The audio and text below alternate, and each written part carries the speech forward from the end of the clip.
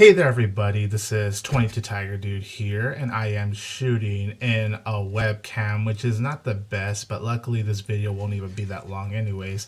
I just want to make a quick video to tell you that I did do a Cars 3 trailer reaction. It's for the next generation uh, trailer. So if you guys want to check that out, that is on my Dailymotion account. Obviously, every time I do a trailer reaction, I always post it there to avoid any copyright issue with YouTube. But if you guys do want to check out that trailer reaction, you could go to my Dailymotion account. It'll definitely take you there. So you guys, thanks for watching this quick little video just to give you guys a reminder. I hope you guys enjoy the trailer reaction. And be sure to let me know your thoughts on Cars 3 in the comments down below. This is 22 Tiger Dude here, and don't forget that I will always have Tiger Power!